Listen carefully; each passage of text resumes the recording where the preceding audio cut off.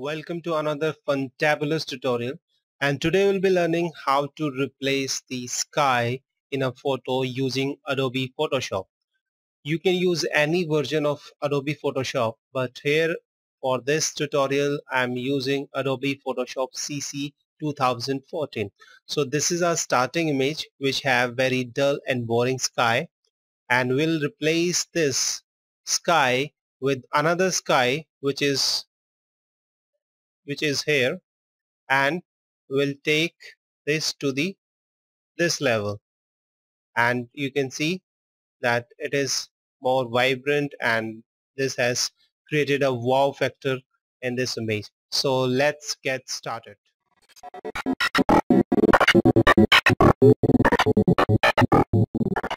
First thing first uh, we'll take this image of our starting image and then we'll take this sky this one which is here. I've imported both them both of them on the same document alright so you have to make sure first thing first you have to make sure that your image of which you want to replace the sky here uh, this bird silhouette so we'll take that image on the top of the sky because it has uh, mostly black and the gray color so it would be very easy for us to blend both the images together. So using layer blends mode option. So by double clicking this layer of the birds uh, we go to this option which is blend if gray this layer. These are the handles which can which we can drag to the left side or the right side here we'll drag it to the left side. So it has blended in. Wherever the gray color is in it has blended into the image which is below this image. That is our sky. So we have blended it but if we do this way we don't get the perfect blending because we get lots of certain other things like certain uh, these jaggy jagged uh, edges we don't want that. We want that to be perfect. So in order to do that we'll just press the alt or option on Mac alt on window and option on Mac and we'll just click and drag this handle. Alright? This way our edges would be smoother. Comparison to this. I don't know whether you can see it or not but I can see it clearly.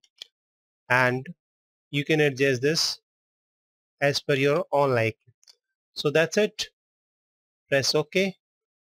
So our, our image has perfectly blended it. We have replaced the sky very easily very simple step. So now we need to take it to further.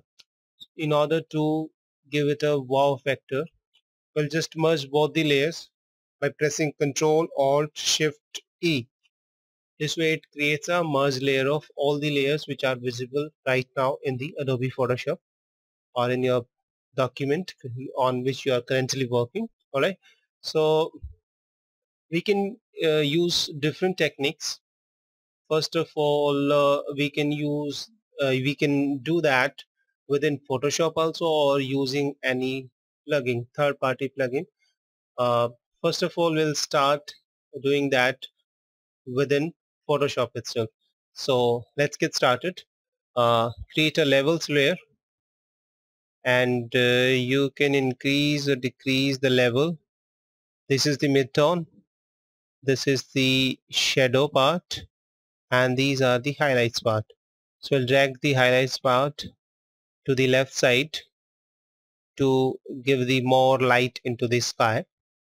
Now we can take this, this is the RGB per RGB mode we can take the red also click red and we can increase or decrease the if you want to give it a more purplish look you can take the red to the left side or if you want it to give a green color hue then you can take it to the left side. I think this is good. And similarly with the highlight hmm, maybe here. Yes. Similarly with the green color a tone highlights shadows. Again with the blue color. More blue towards the red or towards the green. Maybe I think little bit towards the red is looking good. And the shadow we don't want that. This one highlight will remain keep it there itself. Alright next thing we can create the curves. If we you give any any photo an S curve slight S curve then it will automatically pop up the colors and contrast in your image. Like this. Slightest of S curve pops out the images pops out the colors in your photo you can see that by clicking this icon what was the previous and after this applying of the curve alright? If you don't want that much you can always adjust that alright? Similarly this is the RGB mode. If you want selectively with a selective color like red you can always do that. If you want more red to in the highlight this is the highlight part this is midtone and this one is the shadow part so whichever you want you want to take away the red you can take it to the downside. If you want to increase the red you can take it to the upside. This is all up to you. This is you the choice you have to make. All right? I think this one is looking good. Hmm. then green channel. Similarly. Then blue channel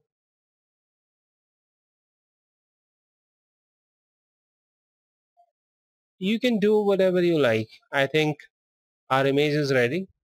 And if you want to take it want to take it to the further next level you can always click on the clear uh, color balance or you can you can uh, browse this from here also from clicking this icon color balance and it will create a color balance adjustment layer. And this is the again midtone. Uh, you can change the midtone of the color towards green towards red whichever as per your own liking. Alright similarly with the shadow.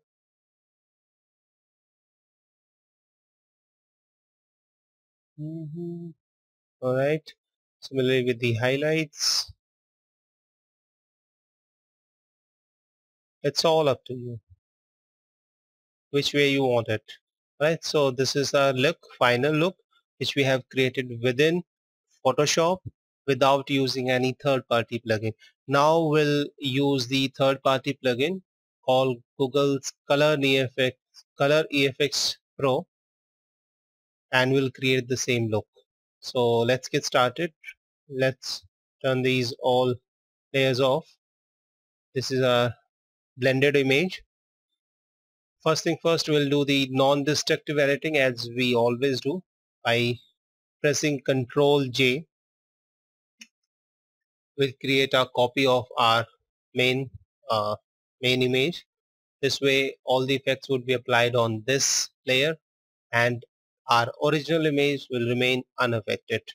Alright so go to the filter and Nik collection color Efex Pro 4 this I have already installed. If you have not installed you can install it always and it will show up here. Color Efex Pro 4 it will take a little time to open depending on the speed of your system or how much document you are using. This is a very large image which I am using. If you are using a small image like 1270 1280 by 720 then it will be a faster. So let it open yes it's it got opened. Now it has this is the all the recipes are here all the options are here.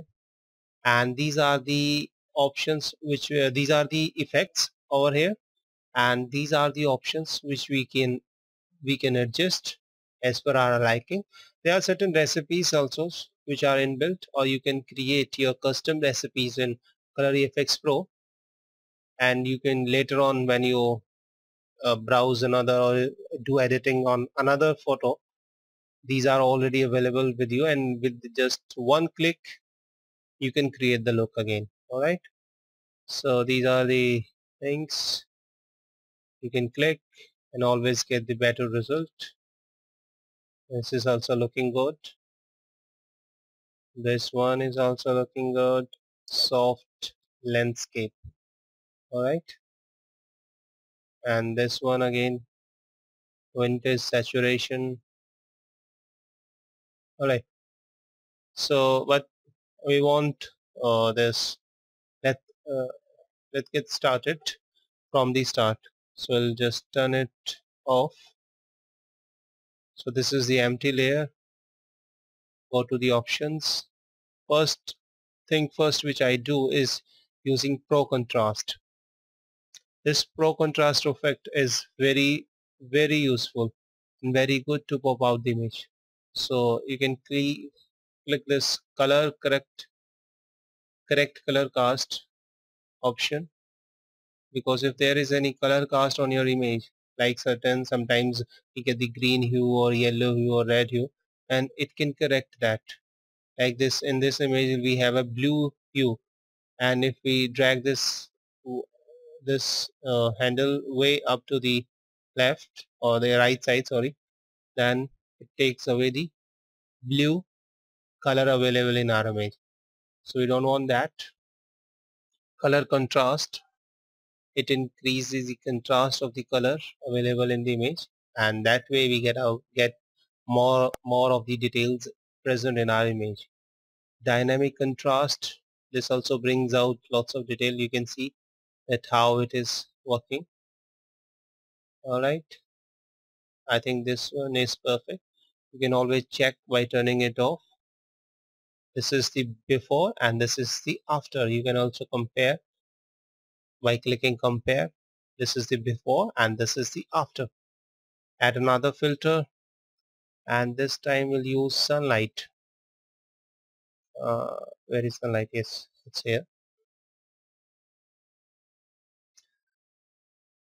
this is the strength of the light. How much strength of the light you want? This one is the temperature whether you want the warm temperature or the cool temperature. In this case we all want cool temperature. So we'll take it to right side. Maybe here. You can increase or decrease the brightness as per your, your own liking. Contrast again. Saturation alright get the idea. Now click another add filter. This time we'll use mm -hmm, where is it? Polarization uh, polarization. It works like a polarized filter on your camera Uh, this is available if you haven't used polarize filter on your camera while shooting the photo. This option is available over here.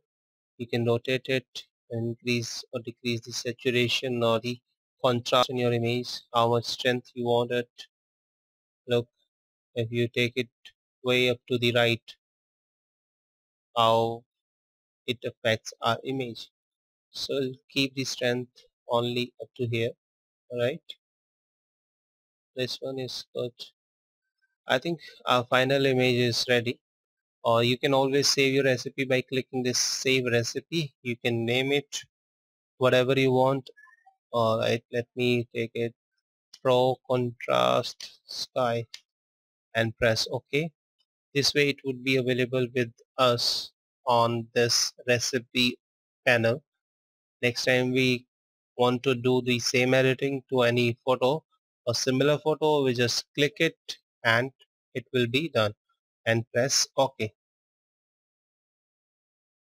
It will take some time to apply the effect onto our image. This because it's a very large file it's taking that much of time. Otherwise it would not have taken that much of time. Alright so this is our final version. So from where we have started we have started from here. This is our image. We have created this and this is our final version. Alright thank you so much for watching and if you like please subscribe my channel and don't forget to hit the like button. Thank you so much